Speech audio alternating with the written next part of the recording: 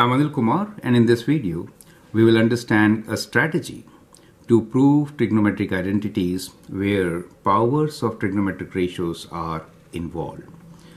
The question here is prove sine to the power of 4x minus cos x to the power of 4 equals to 1 minus 2 cos square x. That's the identity for you. As soon as you see these powers, you're reminded of what? Well, few formulas to keep in mind are difference of squares, a squared minus b squared. This could be factored as a plus b times a minus b. And also uh, the basic fundamental Pythagorean identity for trigonometry, which is sine square x plus cos square x equals to 1. Here you see only the terms in cos. That means you could also write sine square x as equal to 1 minus cos square x. Now that sets the base for proving such an identity, right? So you can actually pause the video, answer the question, and then look into my suggestions.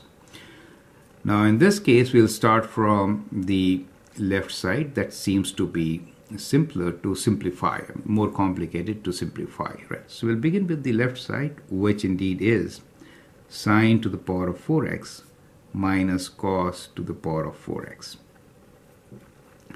Now this could be written as sine square x whole square, right?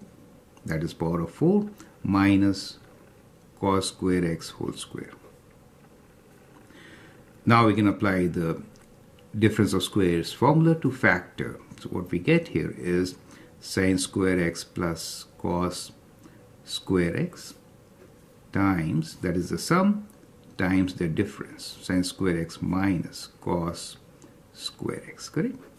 Now this sum, sine square x plus cos square x, you know, is 1. So this is 1 for us. We could write this as 1 time sine square x minus cos square x that leaves us with sine square x minus cos square x. We are looking for 1 minus 2 sine square x. So let's write down sine square x as 1 minus cos square x. So substitute 1 minus cos square x for sine square x and then combine the like terms to get the right side which is 2. 1 minus 2 cos square x, right? So that is your right side. So that is how you could actually solve this particular identity starting from the left side. I hope the steps are clear, right? So uh, you can actually also try solving this identity from the right side, right? You could do it.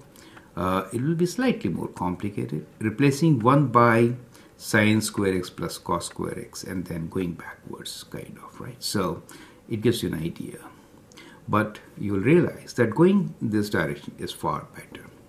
I'm Anil Kumar. You can always share and subscribe to my videos.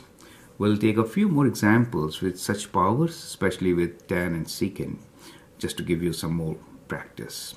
Feel free to post questions and subscribe my videos. Thank you and all the best.